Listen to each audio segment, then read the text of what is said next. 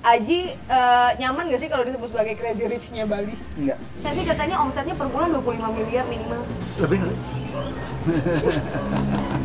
istri itu nggak pernah melarang beli mobil. Hmm. Cuma istri itu marah biasanya kalau pagi pas masak masak di dapur begitu buka kaca kebun Mobil. kan kebun kelihatan. Ah, oh iya. Sekarang begitu buka mobil kelihatan. ini mau di, dikemanain rumah ini. Gitu.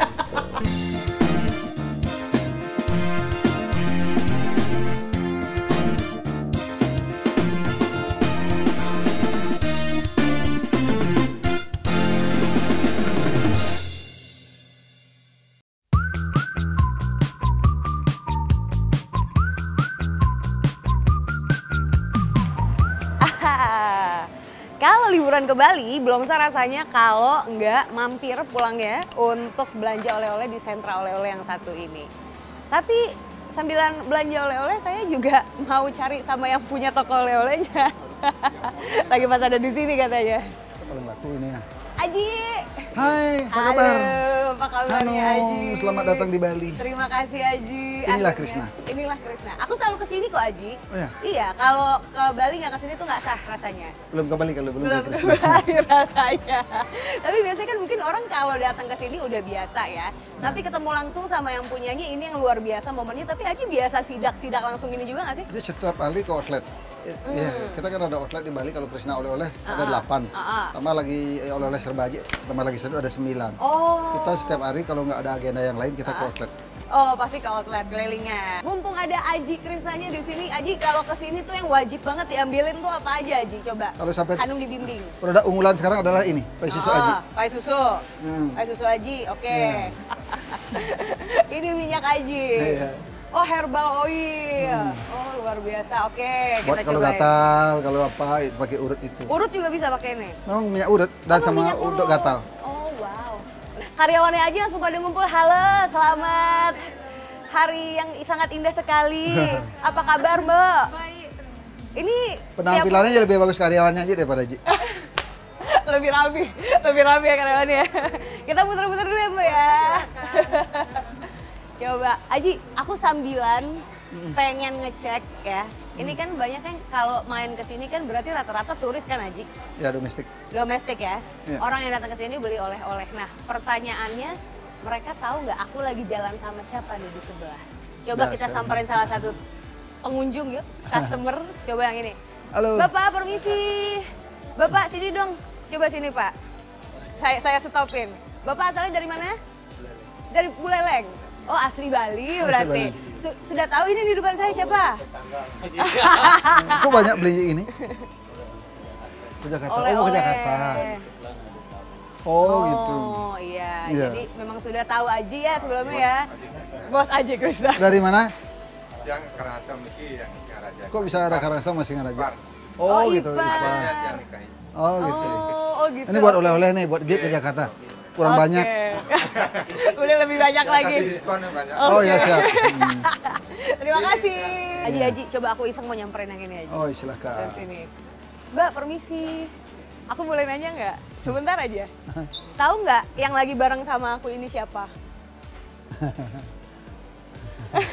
Jangan takut sini dulu. Enggak, sebentar aku mau tanya doang. Tahu nggak bapak yang lagi bareng sama aku siapa? Nggak tahu. Selamat liburan ya. Iya. Aji harus lebih sering eksis lagi ternyata. Dia orang tumpah ke Bali. Orang baru tumben kembali.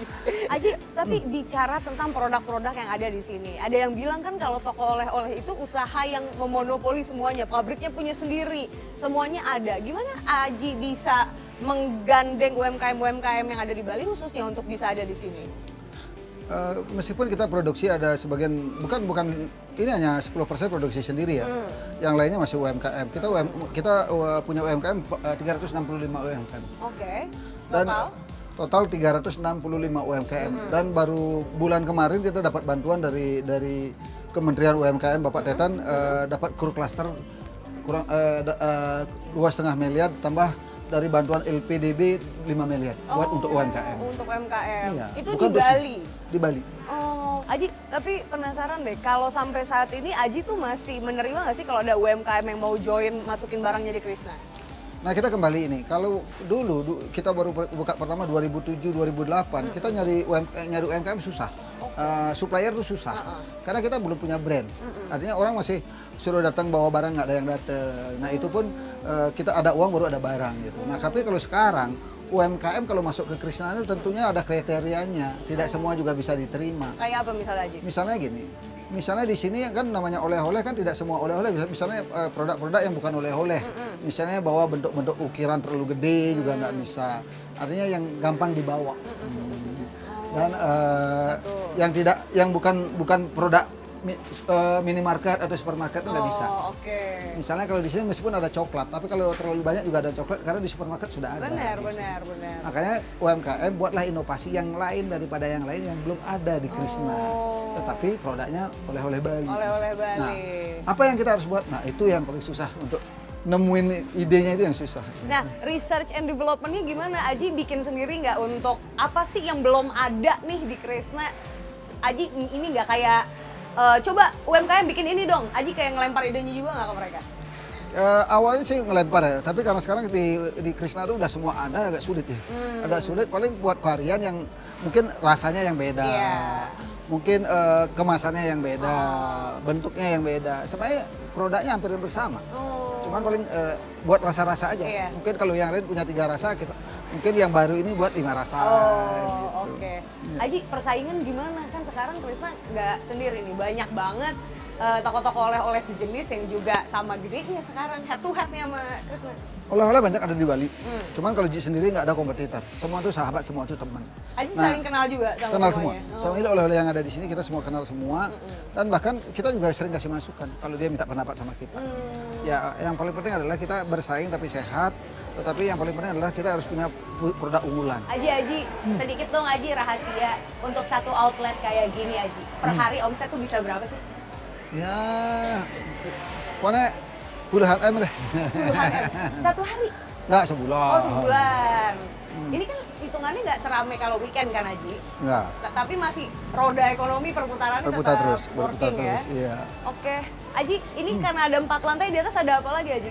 Ini lantai satu, lantai dua, lantai tiga, rooftop. Hmm, Oke, Mau lihat siap. lantai lantai Yuk, satu. Sambil lihat Aji. Oke, kita lanjut naik ke atas.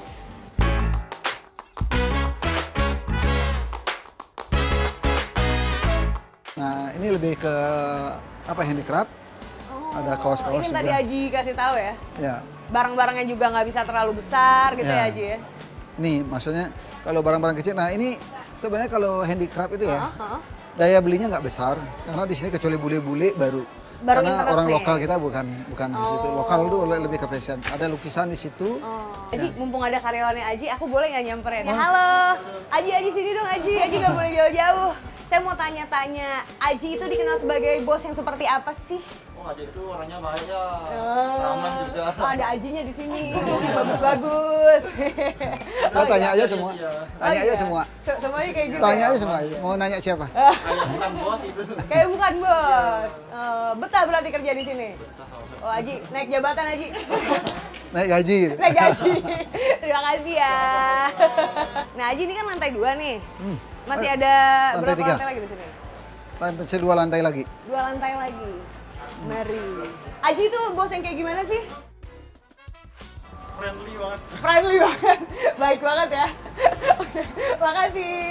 Semuanya sama jawabnya ternyata. Begini Nggak dibuat-buat. Nggak dibuat-buat. Apa adanya. Apa adanya. Iya. Semuanya sayang sama bosnya ya. Biasanya karyawan kalau ketemu bosnya langsung pada ngumpet. Takut ya? Takut. Ya. Di sini kalau ketemu Aji kayak ketemu temen tongkrongan. Nah, ini produksi produksi istrinya Ji nih. Oh, yang sebelah sini. Heeh. Ini yang kain Bali. Oh. Halo, selamat sore. Ya. Ini punyanya istri ya, punya ibu ya. Oh, punya Ibu Jero. Istri. Istri jualan juga kita eh, di sini. Di sini juga? Juga jualan di sini. Luar Awas ya. biasa, luar Ini biasa. punya di- istri semuanya. Oh. Ya. Bali banget ya, Aji. Bali banget. Udang buat di kepala. Ini kepala, iya. Terus istri set- begitu setiap minggu tuh ke desa-desa ke pengrajin nyari eh, songket, kain-kain ini beli. Oh. Aji, nextnya kita lihat ke yang rooftop kali ya, Ayo Aji? ke atas yuk. Oke. Tempat minum, makan. Nah. Ngopi-ngopi lah, ngopi-ngopi Ngopi-ngopi cantik. ya? Ngopi cantik. Ngopi-ngopi Menarik.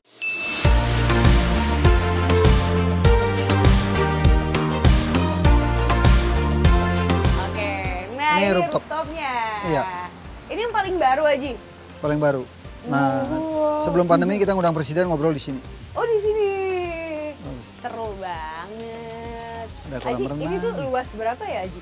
Ini luasnya per lantai 2.400 2.400. kali kali 4 berarti kan 8.800. Wow, luas bangunan tuh ya. Iya, luas bangunan. Iya. Wah Haji, ini biarpun ada rumah-rumah, view-nya yang mahal nih Haji. Iya. Asik banget. Nah, nanti ini kan perluasan.